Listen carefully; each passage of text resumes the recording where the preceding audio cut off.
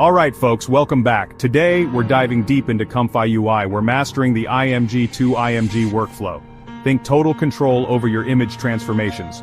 First up, we need to load our foundational models. These are the real workhorses. Think of the UNet loader. It loads the UNet model. That's the core of the diffusion process. Without a UNet, you're not making any images. So, yeah, pretty important, wouldn't you say? Okay, so we've got the basics loaded, but for the high-level control we want, we need some specialized backup. These are the secret sauce. They bring the finesse to our IMG 2 IMG workflow. First on this special list is, Florence 2 is a powerhouse. It's going to look at our input image, and then it will automatically generate a descriptive prompt. Saves a ton of time. Then we have the, this one is all about identity. You want to put a specific face onto a new image? This is how you do it. It's trained to recognize and encode facial features. And to tie some of these controls together, we use the InfuseNet is designed for controlled generation. It ensures everything works in harmony. Now let's talk about the fuel for this AI engine. We need images. Not just one but three specific input images. Each one has a very distinct and important job. First, the main star, the image to transform. This is your canvas. It's the picture you want to change, to remix, to reimagine. The quality of this image matters. A clear, well-defined base gives the AI more to work with. Next up is the reference face image. This one is crucial for identity control. The will analyze this image. It will extract the unique facial features. Lastly we need the control pose image. This image dictates the pose of the character in your output. It could be a simple sketch. The system will extract the pose information from this. Super powerful for artists.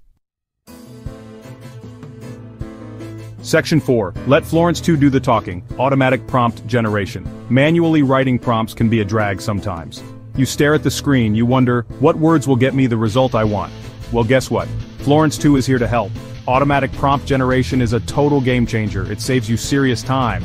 And it can give you creative ideas you hadn't even thought of. It's like having an AI assistant for your prompts. So, how does this magic work? That node we talked about, it gets to work on your image to transform. Florence 2 analyzes the visual content of that image. It looks at the objects, the scene, the style, it tries to understand what it's seeing. The output from Florence 2 is a text prompt, a nice detailed description of your input image. This generated prompt then gets piped into the CLIP model. Remember CLIP? It translates that text into something the UNET can understand. So, Florence 2 describes, CLIP interprets. This gives the AI a solid, context-aware starting point for the IMG to IMG process. You can take that automatically generated prompt and add your own flair. It's the best of both worlds, really. Section 5. Copy that face, strike that pose, identity and pose control, getting the face you want and the pose, that's often the holy grail in AI image generation. It can be tricky, but Comfy UI with the right nodes gives you incredible power here. This is where our specialized models and reference images truly shine. Let's talk identity first. The node is your friend here. It takes two main things. First, your reference face image, that clear shot of the face you want. Second, it uses the we loaded earlier. The node processes the face image. It then spits out an embedding. Think of this embedding as a digital fingerprint. It's a compact representation of that specific person's facial identity. Now for the pose. We use a node, like, or a more general pose extractor. This node looks at your control pose image, whether it's a photo, a stick figure, or an open pose map. It analyzes the structure, the limb positions, the head tilt. It then creates a pose map or a set of key points. This data precisely describes the desired posture. Why are these embeddings and maps so important? They guide the model. This is how we achieve that high level of control. It's all about giving the AI the right information. Section 6, bringing it all together. Infusion, sampling, and the grand finale. Alright, the moment of truth is approaching. We've loaded our models, we've prepared our input images, Florence 2 has given us a prompt, we've extracted the ID embedding and the pose data. All the ingredients are ready, now it's time to mix them all together. And then, we cook up our final image. This is where all that setup pays off. The star of this stage is often a node like. This is where the UNET, our main image generator, gets all its guidance. It takes the ID embedding from our reference face. It takes the pose data from our control image. And of course it considers the text prompt, intelligently blends these. It conditions the UNET to respect all these different control signals simultaneously.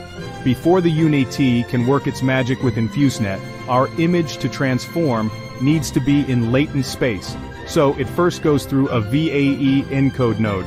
Then this latent representation along with the prompt and control signals goes to the K-sampler.